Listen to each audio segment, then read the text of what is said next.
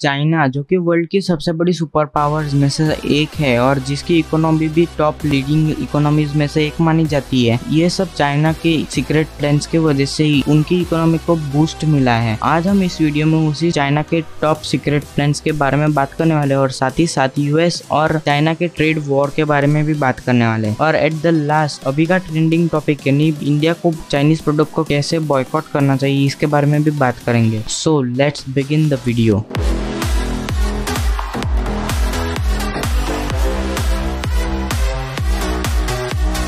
number one China trading plan through one belt one road initiative अभी ये initiative launch किया था Chinese president Jinping ने, जो कि फोकस करता है कि चाइना की कनेक्टिविटी बाकी सब कंट्री के साथ इम्प्रूव करना। और इसके साथ ओबी ओबीओआर से 78 कंट्रीज़ जुड़ चुकी है, जो कि मेनली एशिया अफ्रीका और यूरोप कॉन्टिनेंट्स में मौजूद है। OB OBOR also known as B R I belt and road initiative involve अपने कंट्री के नेटवर्क को दूसरे कंट्री के साथ कनेक्ट करने का ट्राई करता है। थ्रू रोडवेज़ रेलवे हाईवेज और मेरीटाइम पोर्ट्स और ये प्रोजेक्ट में दो मेन पार्ट कवर होते हैं. पहला है सिल्क रोड इकोनॉमिक बेल्ट जो कि प्राइमरी लैंड बेस्ड प्रोजेक्ट है, जो कि चाइना को सेंट्रल एशिया ईस्टर्न यूरोप और वेस्टर्न यूरोप से कनेक्ट करता है. दूसरा twenty first century maritime silk road जो कि सी बेस्ड प्रोजेक्ट है, जो कि साउदर्न चाइना को अफ्रीका साउथ ईस्ट एशिया और सेंट्रल एशिया से कनेक्ट करता है. अभी इतना बड़ा इनिशिएटिव लेने के बाद चाइना को कुछ बेनिफिट तो होना चाहिए ना? तो चलिए उसी के बारे में बात करते हैं. चाइना अंडर डेवलप कंट्रीज़ और डेवलपिंग कंट्रीज़ को कनेक्ट करता है, तब वो अपनी चाइनीज़ मार्केट उन कंट्रीज़ में ओपन अप करता है, जिसकी वजह से उनका एक्सपोर्ट प्रोडक्शन भी बहुत बढ़ जाता है मतलब इनडायरेक्टली उन्हीं को फ़ायदा होता है। और चाइना ने recently one trillion dollar funding के लिए निकाला है, जो कि बाकी अंडर डेवलप्ड और डेवलपिंग नेशंस को लोन्स देने के लिए बने हैं। और जिसके वजह से बाकी दूसरी कंट्रीज़ जो कि डेप्थ रिपे ना कर पाए, वो सब चाइना के डेप्थ ट्रैप में फंस जाते हैं। अभी चाइना के डेप्थ ट्रैप के बारे में हम आगे इस वीडियो में बात करेंगे। पहले तो कंट्रीज़ जैसे क्रेगिस्तान और तजिकिस्तान ये ओबीओआर के तरफ़ पॉजिटिव है, क्योंकि चाइनीज़ गवर्नमेंट ने इधर इनकी इंफ्रास्ट्रक्चर बिल्ड करने के लिए बहुत बड़ा इन्वेस्टमेंट किया है। अभी रिसेंटली नेपाल ने भी ओबीओआर ज्वाइन किए हैं, जो कि उनकी क्रॉस बॉर्डर कनेक्टिविटी को एनहेंस करता है। जिसके वजह से आज हमको इंडिया और नेपाल के ही बॉर्डर इश्यूज़ देखने को भी मिलते हैं। और इसी के साथ साथ पाकिस्तान ने भी ये ज्वाइन किया था और आज उनको 46 बिलियन डॉलर्स का फ़ायदा हुआ है, क्योंकि चाइना और पाकिस्तान ने पाकिस्तान इकोनॉमिक कॉरिडोर क्रिएट किया है, जो कि चाइना और पाकिस्तान को कनेक्ट करता है थ्रू अरेबियन सी रूट जिसके वजह से ही चाइना को अरेबियन सी रूट यूज़ करने की परमिशन मिल गई है। अभी बात करते हैं नंबर टू टॉपिक जो कि है China growing threat via debt trap China लाखों करोड़ों डॉलर्स खर्च कर देता है दूसरे डेवलपिंग कंट्रीज़ को लोन देने के लिए, और इतने लो कॉस्ट लोन लेने के लिए दूसरे कंट्रीज़ भी मजबूर हो जाते हैं, उनके डेप्थ ट्रैप में फंस जाते हैं। और चाइना भी ऐसी कंट्रीज़ को सिलेक्ट करता है जो कि उनके लोन रिपे ना कर पाए और वो उनके जाल में फंस जाए। लोन रिपे ना करने पर चाइना उनके कोई भी रिसोर्सेज या फिर उन कंट्री की कोई भी लोकेशन यूज़ कर लेता है कुछ लिमिटेड पीरियड के लिए। यही डेप्ट ट्रैप में श्रीलंका भी पड़ गई थी क्योंकि श्रीलंका ने बहुत ज़्यादा लोन लिया था चाइना से और जिसके वजह से ही चाइना ने श्रीलंका का हेम बेन टोटा पोर्ट ले लिया है फॉर 99 इयर्स जो कि इंडिया के एकदम करीब है। और सेम इंसिडेंट हुआ था डिजी बाउटी कंट्री के साथ, जो कि इसी का शिकार बना है। और जहाँ पे उस देश में चाइना ने अपना खुद का मिलिट्री बेस बना लिया है मतलब क्या बोलो अभी? अभी तक तो इंडिया डायरेक्टली चाइना के साथ लोन की झंझट में नहीं पड़ा है। मैंने इधर डायरेक्टली इसलिए प्रोनाउंस किया क्योंकि इंडिया ने एशियन इंफ्रास्ट्रक्चर इन्वेस्टमेंट बैंक से बहुत बड़ा लोन लिया है, जिसमें चाइना ही बहुत बड़ा शेयर होल्डर है। इंडिया की भी हालत दूसरे कंट्रीज़ जैसे ना हो तो इंडिया को ये डेप्ट रीपे जल्दी ही करना चाहिए। अभी चाइना को ये चाहिए कि इंडिया ये एक्सेप्ट करे कि पीओके यानी पाकिस्तान ऑक्यूपाइड कश्मीर, पाकिस्तान का ही हिस्सा है, क्योंकि इस जगह पे ही ओबीओआर के बहुत सारे प्रोजेक्ट्स और पेपर्स ट्रीटी साइन हुई थी, जो कि बहुत इंपॉर्टेंट है और बहुत बड़ा नुकसान दे सकती है चाइना और पाकिस्तान को। इसीलिए तो चाइना पाकिस्तान को आज तक सपोर्ट करते आ रहा है। Number three US China trade war foreign trading तब ग्रो हुई जब चाइना ने डब्ल्यू यानी वर्ल्ड ट्रेड ऑर्गेनाइजेशन ज्वाइन किया। यूएस और चाइना ने एक दूसरे की कंट्रीज़ के इम्पोर्ट्स पे बहुत ज़्यादा टैरिफ टैक्सेस लगा दिया और 2019 के खत्म होने पर यूएस ने 160 बिलियन डॉलर्स का टैरिफ लगा दिया चाइनीज़ प्रोडक्ट्स पे और इसका जवाब देने के लिए चाइना ने भी 110 बिलियन डॉलर्स का टैरिफ लगा दिया यूएस प्रोडक्ट्स पे।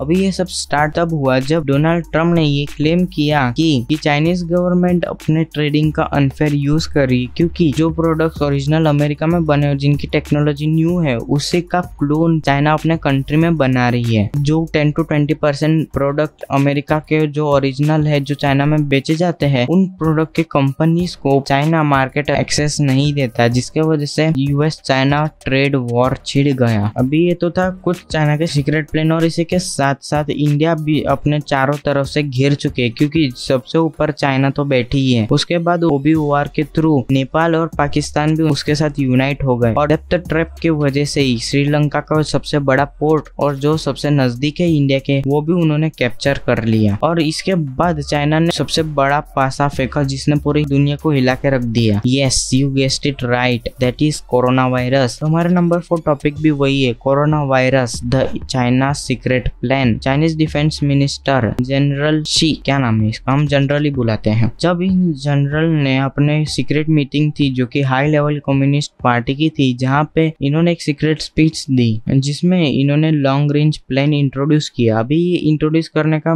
वजह ये थी कि, क्योंकि चाइना मेन थ्री इश्यूज़ से घिरी हुई थी। सबसे पहली थी living issues and deteriorating environment क्योंकि चाइना की ओवर पॉपुलेशन होने की वजह से उधर के लोगों को उधर घर नहीं मिलता और उधर बराबर रह नहीं सकते, और एनवायरमेंट भी उधर बहुत खराब होता है तो रफ हो जाती है लाइफ नंबर टू है कि उधर के लोग बाहर जाने के लिए प्रीफर नहीं करते। वो बाहर परमानेंटली सेटल होने के लिए ज़्यादा प्रीफर नहीं करते। इसलिए उधर के कम्युनिस्ट पार्टी को ये चाहिए कि उधर के लोग बाहर जाए और एक एरिया में कंसंट्रेट होकर उधर कॉलोनाइजेशन करके उधर एक दूसरा चाइना क्रिएट करे। और इसी के साथ तीसरा इशू होता है that is issue of America क्योंकि अमेरिका कभी भी चाइना को दूसरा चाइना बनाने के लिए कभी भी अलाउ नहीं करेगा। और जिसके वजह से वो बहुत बड़ी मुश्किल में पड़ जाते हैं, क्योंकि यूएस उनके रास्ते में ही खड़ा है। और चाइना दूसरे कंट्रीज़ जैसे इंडिया पाकिस्तान श्रीलंका जापान में भी कुछ कर नहीं सकते क्योंकि वो कंट्रीज़ पहले से ही ओवर पॉपुलेटेड है। तो चाइना ने डिसाइड किया कि बड़ी कंट्रीज़ जैसे यूएस कनाडा ऑस्ट्रेलिया जहाँ पे पॉपुलेशन डेंसिटी बहुत कम है, उधर ही हमारा डेरा जमा है। तो इस जनरल की सबसे मेन स्टेटमेंट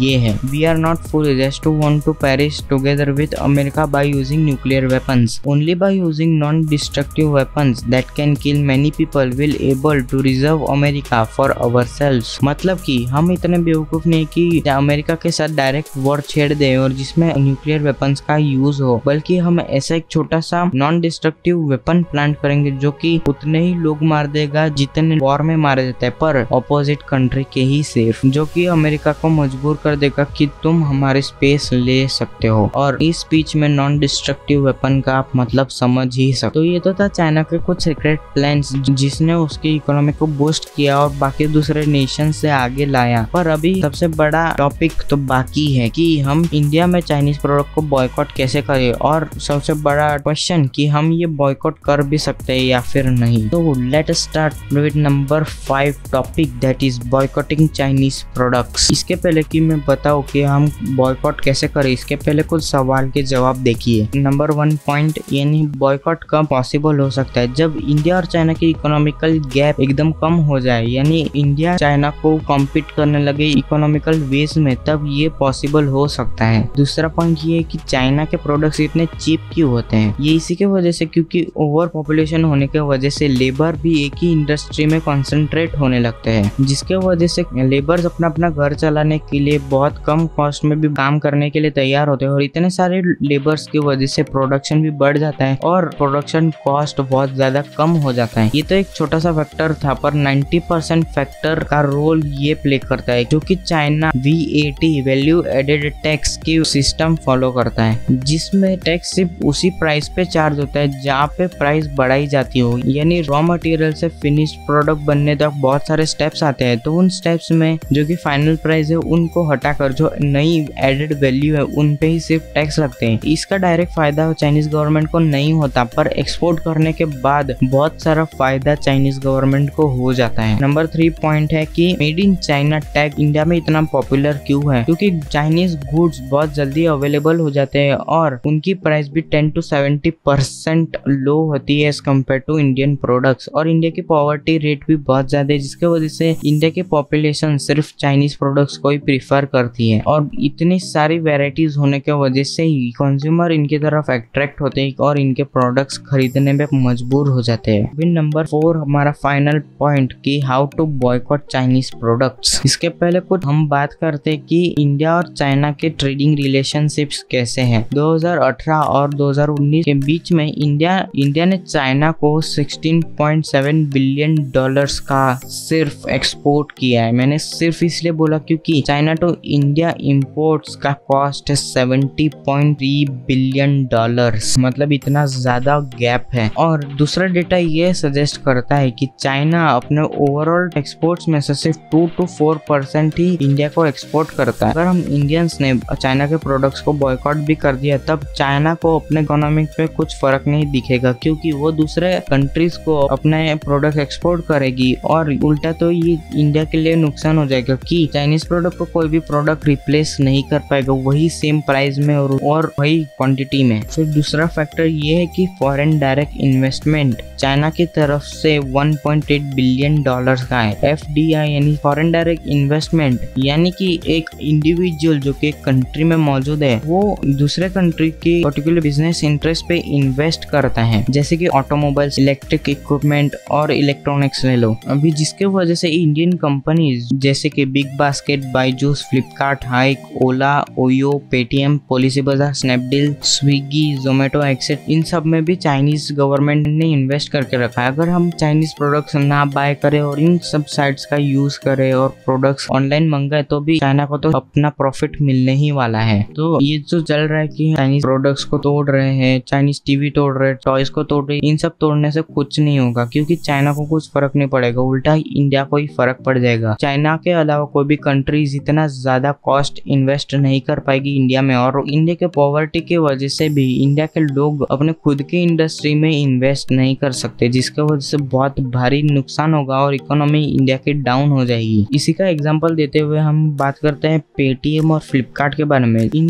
दोनों कंपनी को 2019 में कोई भी इन्वेस्टमेंट नहीं मिला था, जिसकी वजह से पेटीएम ने 3690 करोड़ का नुकसान झेला था और फ्लिपकार्ट ने 3830 करोड़ का नुकसान झेला था, जिसका वजह से चाइनीज़ इन्वेस्टर्स को इसने अट्रैक्ट कर लिया और चाइना ने इनमें भी इन्वेस्ट कर लिया। अभी चाइना का सिर्फ़ डोमिनेंस इन सब ट्रेडिंग और इसमें ही नहीं है। क्योंकि इनका इंडियन डिजिटल मार्केट में भी बहुत बड़ा डोमिनेंस है, क्योंकि टॉप ऐप डाउनलोड जो कि प्ले स्टोर पे या फिर आईओएस ऐप स्टोर पे होते हैं, वो उनके 50 परसेंट चाइनीज़ ऐप्स ही है। कुछ भी कर लो इंडिया पूरी तरीके से एक जाल में फंस चुका है। ये कर सकते हैं कि हम हमारे इंडिया के लोकल प्रोडक्ट्स ही बाय करें और मेड इन इंडिया प्रोडक्ट जिसमें मेड इन इंडिया और असेंबल्ड इन इंडिया वो प्रोडक्ट्स भी ट्राई करें। क्योंकि बाकी कंपनीज़ भी अभी इंडिया में प्रोडक्शन करने का ट्राई कर रही है। अभी रिसेंटली थोड़े बहुत फ़ोन में भी टैग्स लग रहे कि मेड इन इंडिया और असेंबल्ड इन इंडिया तो ये अच्छा प्रोग्रेस है इंडिया का। तो बस यार इतना ही रखते इस वाले वीडियो के लिए। और अगर पसंद आए तो लाइक कर देना और चैनल पर नए हो तो सब्सक्राइब भी कर देना। तो मिलते हैं हम आपको अगली वीडियो में ऐसे ही इंटरेस्टिंग टॉपिक के साथ। तब तक के लिए बाय